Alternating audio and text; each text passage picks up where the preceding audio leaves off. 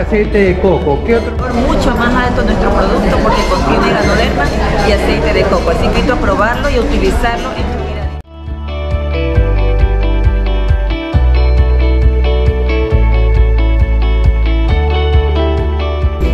Por favor, para que pueda olerlo.